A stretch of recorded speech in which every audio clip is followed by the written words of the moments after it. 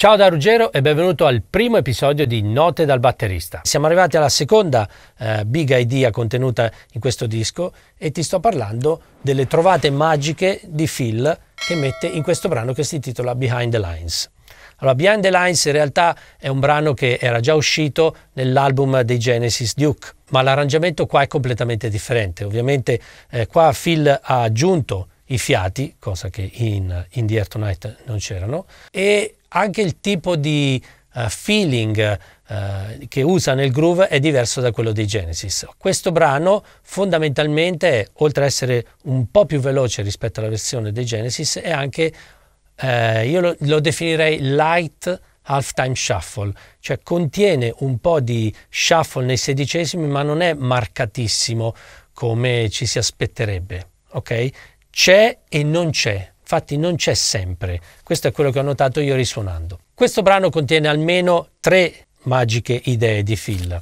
E partiamo subito dall'intro, dall'inizio del brano. Qui Phil suona un, un groove molto semplice, scarno, con la cassa su 2-4, senza rullante, e il Charlie che, oltre a tenere il flusso di ottavi, sottolinea gli anticipi dell'1. Infatti in questo brano non c'è l'1 all'inizio della battuta, ma è anticipato di un sedicesimo ed è anticipato anche dal basso e dai fiati, quindi è un cosiddetto kick, un accento, okay, che lui sottolinea con delle aperture di Charleston. Ti faccio notare che eh, Phil, essendo un batterista secondo me molto fusion oriented, eh, tende a non suonare a pattern, quindi se ci fai caso anche nella trascrizione e in quello che ti suonerò io nel video, eh, non è un pattern che si ripete, ma soprattutto sul Charlie suona continue variazioni, ok? Quindi è impossibile da riprodurre fedelmente, dovresti trascrivere nota per nota tutto. Eh, io mi sono limitato a trascrivere secondo me il 99% perché mi ci sono dedicato bene sopra, mi interessava farlo bene.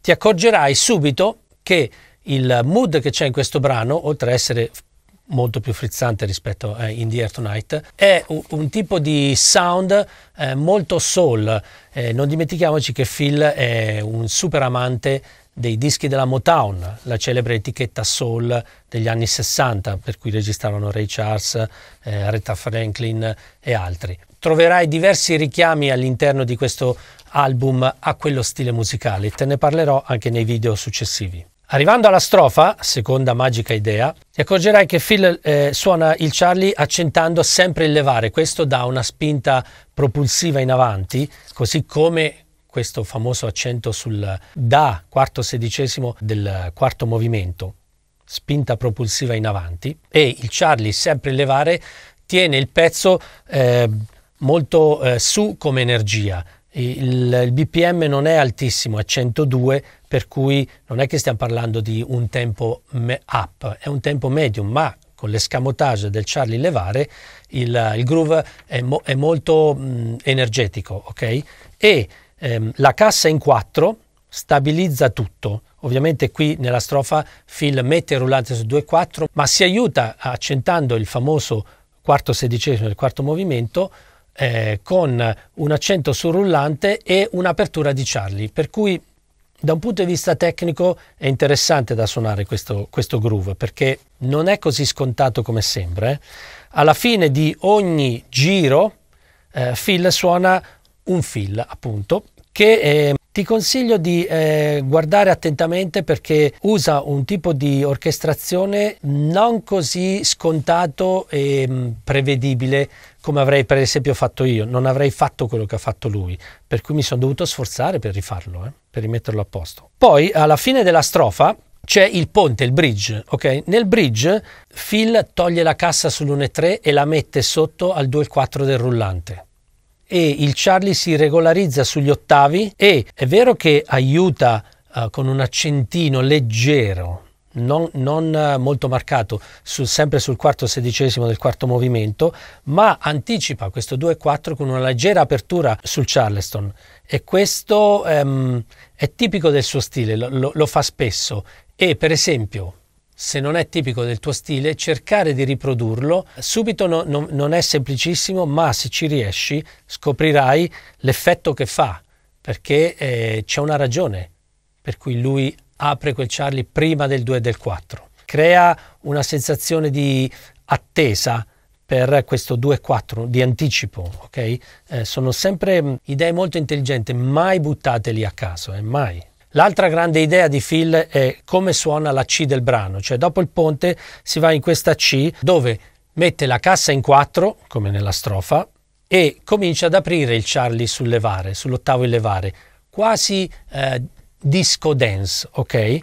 Ehm, ovviamente alla Phil Collins, non è al disco dance eh, come da cliché. Alla fine di questa C c'è un obbligato molto interessante. Grande idea di arrangiamento. Si conclude il ciclo del brano con una serie di obbligati suonati tutti all'unisono, tutta la band, fiati, basso, tastiere, suonano tutti insieme questi accenti che trovi sempre trascritti qua. Nota l'orchestrazione e l'uso dei drag per gli ultimi accenti nella seconda battuta di due quarti una battuta di quattro quarti e una di due quarti, per poi tornare da capo. L'ultima Big Drummers Idea di questo brano, che come vedi ci ho fatto un bel lavoro sopra, è lo special. Molto interessante perché qui Phil apre, eh, come si dice in gergo, sulla campana del ride il levare, cambia completamente il pattern della, della cassa rullante, completamente, non c'entra più niente, aggiunge dei, dei, degli accenti sul rullante sul quarto sedicesimo del secondo e quarto movimento e poi è interessante vedere anche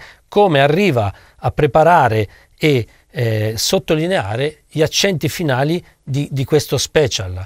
Anche qui eh, tipica scrittura da quasi big band, ok? Un po' come fanno uh, band tipiche del funky soul come Tower of Power o gli Earth, Wind and Fire o i Blood, Sweat and Tears. Okay? Quindi questo brano è molto interessante, ci sono tantissime idee da vedere, ti consiglio di ascoltarlo e ti consiglio di guardare attentamente il mio video che segue questa spiegazione. Buona visione!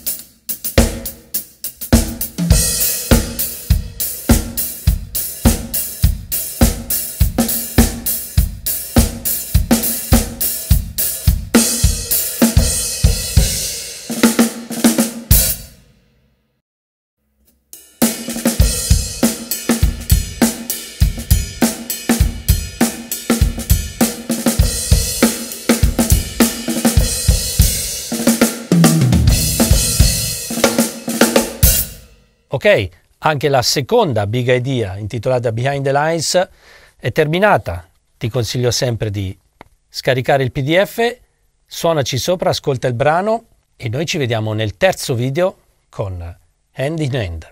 A dopo. Ciao!